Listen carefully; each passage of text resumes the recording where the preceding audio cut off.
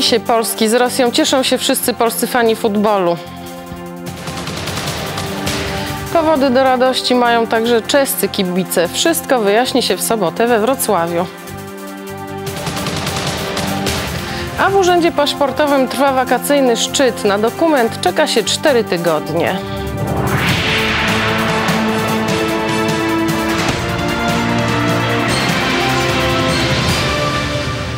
Magda Furman, witam Państwa. Po remisie Polski z Rosją o awansie do ćwierćfinału zadecyduje mecz we Wrocławiu.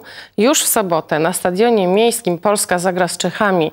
Jeśli wygra, znajdzie się w najlepszej ósemce mistrzostw. Kibice po spotkaniu z Rosją są w niebo wzięci. Jak mówią, tak dobrze grającej reprezentacji nie widzieli już dawno. Szał radości kibiców tak po wyrównującej bramce z Rosją cieszył się Wrocław. Tak cieszyła się cała Polska. Polacy w drugim meczu na Euro zremisowali w Warszawie z Rosją 1 do 1 i nadal są w grze. O Jezus, emocje wielkie, naprawdę. Coś wspaniałego, ale no mogło być lepiej, ale trzymajmy się tego, co mamy. Kibice we Wrocławiu podkreślają, że Polska z Rosją zagrała jeszcze lepiej niż z Grecją, a do zwycięstwa zabrakło naprawdę niewiele. Dobrze grali, ale mogli zagrać lepiej. Jakby więcej akcji, jakby akcje wykorzystywali. Odnieśli się zdecydowanie. To zupełnie odwrotna sytuacja, jeżeli chodzi o mecz z Grecją, prawda?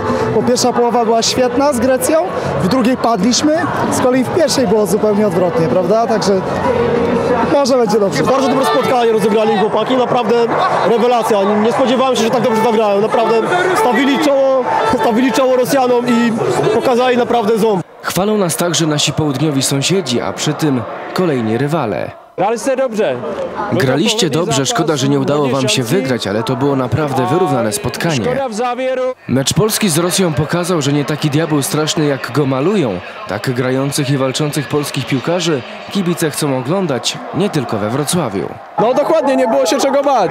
W drugiej połowie w zasadzie Rosjanie nie mieli sytuacji, zamknęliśmy ich na swojej połowie i było dobrze. Teraz przed Polską trzeci mecz na Euro i to we Wrocławiu. 16 czerwca zagramy z Czechami. Jeśli Polska wygra, zagra w ćwierćfinale. Każdy inny wynik będzie oznaczać odpadnięcie z turnieju. No i dlatego wygramy z Czechami na 100%. Musimy wygrać z Czechami, nie ma innej opcji. Tutaj będzie niezła feta we Wrocławiu na zakończenie. 16 czerwca Wrocław, stolicą Polski.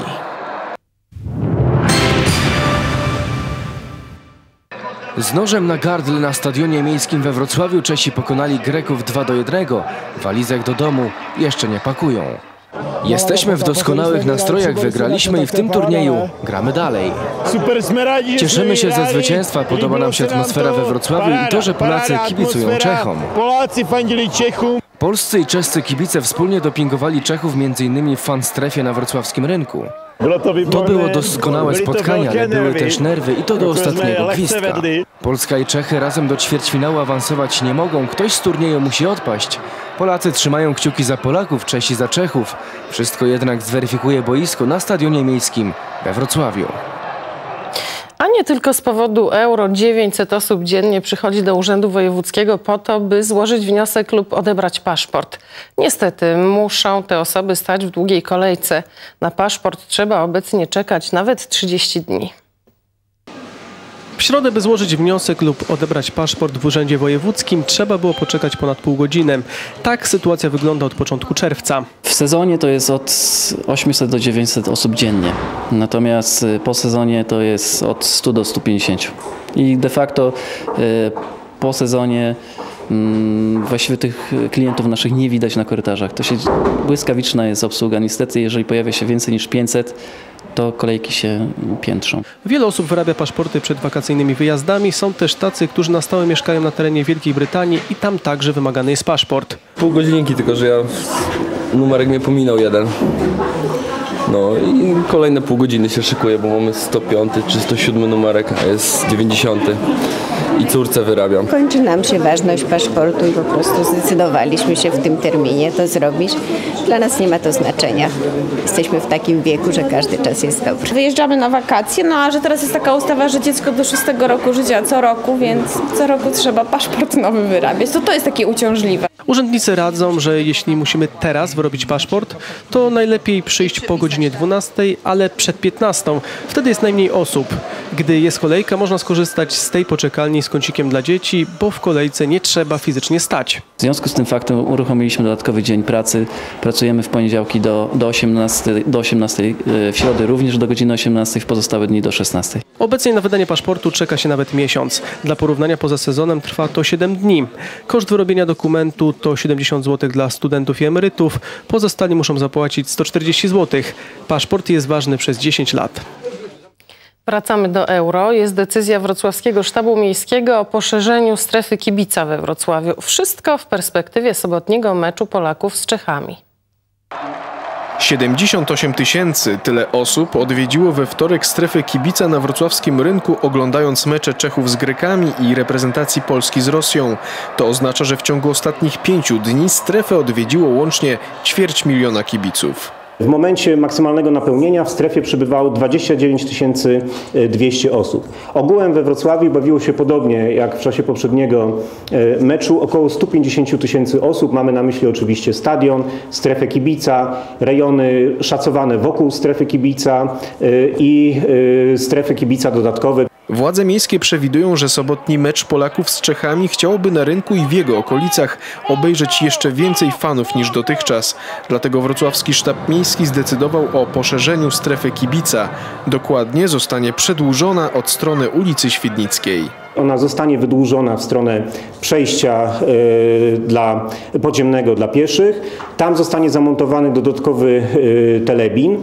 Samo to powinno zapewnić miejsca dla dodatkowych około 7 tysięcy, może 8 tysięcy osób. To w tej chwili jest dokładnie liczone. Również dodatkowe telebimy pojawią się w północnej pierzei wrocławskiego rynku oraz tu na placu przy kościele świętej Marii Magdaleny. O tym jaka będzie ich dokładna lokalizacja władze miejskie poinformują w czwartek. Piłkarskie emocje to nie tylko stadion i strefa kibica na wrocławskim rynku. Dziś zapraszamy fanów futbolu do alternatywnych stref przy ulicy Lotniczej i w okolicach hali stulecia. W mniejszym tłoku, ale rodzinnie i w świetnej atmosferze. Tak można spędzić euro we Wrocławiu w strefach kibica przy ulicy Lotniczej i pod Iglicą. To alternatywa dla fanzony w rynku, która w dni meczowe wypełnia się nawet 30 tysiącami kibiców. Cieszymy się, że jest zorganizowana we Wrocławiu taka strefa, nie tylko na rynku, ale można w innych częściach miasta również się pobawić. Wcześniej byłem w strefie kibica u kolegi z rodzicami. Powiem, że tam skończyło się trochę ciężko, ale jestem za Polską cały czas. Kibicować pod Iglicą może 15 tysięcy osób. W fankampie na Lotniczej przygotowano miejsca dla 4 tysięcy fanów futbolu. Oprócz telebimu jest też plaża i boisko, gdyby ktoś chciał się poczuć jak Lewandowski lub Piszczek. Mieszkam na Nowym Dworze, jest o wiele bliżej tutaj z Nowego Dworu niż, niż do centrum, także pod względem logistycznym jest troszeczkę lepiej. Tu jest y, lepiej, tak bardziej rodzinnie, więcej miejsca. Jest fajnie. W czasie meczu Polska-Rosja w alternatywnych strefach nie było tłoku, chociaż organizatorzy byli przygotowani na przyjęcie kibiców, którzy nie zmieszczą się w strefie na rynku. Królowały barwy biało-czerwone, ale kibice z Czech także bawili się świetnie. Jestem tu dopiero od 40 minut, ale po dwóch piwach jestem w pełni usatysfakcjonowany. Wrocław to piękne miasto, na pewno tu jeszcze wrócę. W strefie nikt nie robi żadnych problemów, wszyscy bawimy się tutaj świetnie. Strefy kibica przy ulicy Lotniczej i pod Iglicą będą czynne do 17 czerwca. Na prawdziwy najazd kibiców szykują się w sobotę podczas meczu Polska-Czechy. Podczas euro jedni się bawią, inni ciężko pracują w fachu, o którym teraz Państwu opowiemy. Zasada jest taka, im lepsza zabawa, tym więcej można zarobić. Dzień zaczynają o trzeciej, czwartej nad ranem. Konkurencja jest spora, ale oni nie wchodzą sobie w drogę. Mają swoje rejony i niepisane zasady. 100 tysięcy kibiców podczas euro we Wrocławiu to okazja, by zrobić interes. Zarabiają restauracje, hotele i sklepy. Prawdziwe żniwa mają też ci, którzy ogólnie mówiąc zbierają złom i makulaturę, a dokładniej aluminiowe puszki po piwach. Przed euro w tym fachu we Wrocławiu dziennie można zarobić 20-30 zł. Teraz kilka razy więcej. Ale jak się dobrze kręcą, to wykręcą ładne pieniądze, bo można i trafić coś. Pan Waldek, pseudonim Kakadu, mówi z trudem, ale pracuje pełną parą. We Wrocławiu z wózkiem jeździ od ponad 20 lat. Opowiada, że koledzy po fachu, by zarobić, w miasto wyruszają o czwartej rano. O tym, że podczas euro ręce mają pełne roboty, świadczą oficjalne dane. Po pierwszym dniu meczowym we Wrocławiu służby porządkowe tylko z okolic stadionu wywiozły 21 ton śmieci. Manelarze też zarobią, bo piją non i jadę tutaj do siebie, to widzę tych kibiców pijanych non stop. Jest więc co robić, ale uwaga, zbieracze mają swój kodeks honorowy i swoje rejony. Zasada jest jedna, w tym fachu porządny gość koledze w rejon nie wejdzie. Rejony w mieście są dokładnie podzielone no, od, od dawna, gdzie komu przysługują jakieś ulice, w tym również e, no, kubły, śmietniki. Wiadomo, że żniwa dla zbieraczy puszek skończą się 1 lipca, gdy zakończy się euro. Wrocław do euro przygotowywał się 5 lat, a schronisko dla bezdomnych mężczyzn imienia świętego brata Alberta we Wrocławiu ponad 2 lata. Podopieczni wymyślili sobie, że mistrzostwa chcą przeżywać razem i to w najwyższej światowej jakości i dopięli celu. Szczytem marzeń dla kibica podczas euro jest bilet na mecz lub doping w strefie kibica. Ci kibice wymyślili sobie dwa lata temu, że mecze chcą oglądać wspólnie na 42-calowym plazmowym telewizorze. Co miesiąc każdy odkładał ile mógł, najczęściej po kilka złotych i swoje marzenie spełnili. To pomysł jednego z mieszkańców schroniska, który dwa i pół roku temu rzucił takie hasło, że no bo myśmy mieli takie same telewizory z odzysku, prawda? I rzucił hasło, że no żeby się zebrać po prostu. Podopieczni schroniska dla bezdomnych mężczyzn razem dopingują, kibicują i komentują, tak jak podczas ostatniego meczu biało-czerwonych z Rosją. Super, naprawdę teraz jesteśmy naprawdę częścią tego świata. Jakbyśmy uczestniczyli będąc na stadionie, bo jest i atmosfera taka, także no, widzimy jak na dłoni wszystko. We wrocławskim schronisku imienia świętego brata Alberta przebywa 100 mężczyzn. Na stadionie, w strefie kibica czy w domu kibicować trzeba modnie. Fantazja fanów futbolu nie zna granic, peruki, czapki i koszulki to podstawa. Przed sobotnim meczem Polski z Czechami zapraszamy na prawdziwy poradnik modnego kibica. Wszystkie modowe trendy czerwca sprowadzają się w tym roku do dwóch kolorów. Biel i czerwień króluje na polskich ulicach, stadionach i samochodach. Bez względu na wiek i płeć. Kibic wie co modne. Wszystko wpisuje się w trendy, jeśli jest biało-czerwone. Znalazłem czerwoną koszulkę w szafie, no i, no i jest akcent, nie? Także, także tylko, żeby trochę się w tłum wpasować i to wszystko. I mylą się ci, którzy twierdzą, że piłka nożna to typowo męski sport. O piękną oprawę euro dbają przede wszystkim panie. Prawdziwa kibicka na euro powinna właśnie nie tylko dbać o to, żeby były barwy, tylko o to, żeby było ładnie. Właśnie udowodniłam mojemu chłopakowi, że kibic euro może wyglądać ładnie. No i to jest efekt wczorajszej pracy, yy, maszyny do szycia i dwóch yy, metrów materiału. Biało-czerwona kredka. Niby nic, a z partnera może zrobić eurobohatera. Atmosferze mistrzostw poddają się prezenterki. Daria Matuszak, witam i zapraszam na wiadomości sportowe Sport Game. Sił i środków nie szczędzą też panowie. Każdy sposób jest dobry, byle tylko skutecznie dopingować naszych. Wystarczy po prostu kolorystyka odpowiednia. Biała bluzka, czerwona spódniczka czy tam spodnie. Yy, absolutnie nieodwrotnie, tak? Czerwony, biały, nie. Oprócz stroju kibica liczą się też chęci. Donośny doping to podstawa. Zedrzeć gardło nie zaszkodzi, szczególnie w sobotę. Już po raz 15 twórcy i członkowie antykabaretu Dobry Wieczór we Wrocławiu zapraszają na swój występ. Wszystko na scenie wrocławskiej mleczarni. Początek już niedługo, bo o godzinie 19. Choć ma być teoretycznie strefą wolną od kibica, to mimo wszystko tematów euro członkowie antykabaretu Dobry Wieczór we Wrocławiu unikać nie zamierzają. Ale tego, co dziś z okazji 13 dnia miesiąca tak naprawdę wydarzy się na scenie kabaretowej, zdradzać za bardzo nie chcą. Oczywiście euro, euro, euro. Wiem, że Marek Kocet już napisał jakiś wiersz. Ja też mogę powiedzieć kawałek. To nie chmury, to nie pałac chmur, to nie pałac kultury. E, pogłębiają się bruzdy na czole Franciszka Smudy. O, proszę, to taki początek. Pracuję nad tym. Na pewno wystąpi profesor Bogusław Bednarek, Justyna Szafran, Paweł Romaszkan czy gość honorowy Krzysztof Skarbek.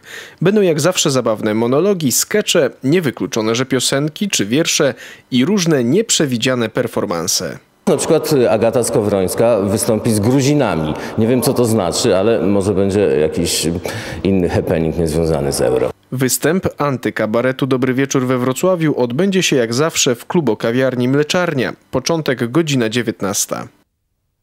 A Euromania dotknęła też niektóre placówki kulturalne Wrocławia. Ekspozycje związane ze sportem i euro można zwiedzać w Osolineum, ale także w Muzeum Poczty i Telekomunikacji. W ogrodzie barokowym przy Osolineum zorganizowano plenerową wystawę grafik. Powstała z myślą o kibicach, którzy chcą choć na chwilę oderwać się od piłkarskich zmagań. Są to ryciny autorów y, tworzących, y, działających na przestrzeni XX wieku. Y, są to ryciny wykonane w różnych technikach, różnych stylach, prezentujące dyscypliny sportowe, wybitnych sportowców, artystów sportowych oraz y, takie emocje związane ze sportem, zwycięstwa, porażki. Na wystawie znalazło się 36 grafik, najstarsze pochodzą z lat 20. minionego stulecia, najnowsze z lat 60. Wszystkie zostały stworzone przez polskich artystów. Często inspiracją dla powstania tych e, rycin e, były konkursy, które były organizowane z okazji olimpiad, e, zarówno w okresie przedwojennym, jak i podwojennym. Była to też taki ciekawy moment dla pokazania swojej twórczości. Wystawę można zobaczyć codziennie, wstęp jest bezpłatny. Ekspozycja potrwa do 15 lipca.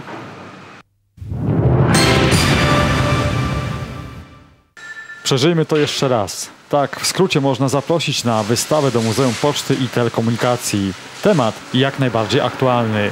Historia piłkarskich mistrzostw Europy. Zapisana na 300 znaczkach i kartach telefonicznych. Tło e, każdej planszy to jest także tło pochodzące ze znaczków.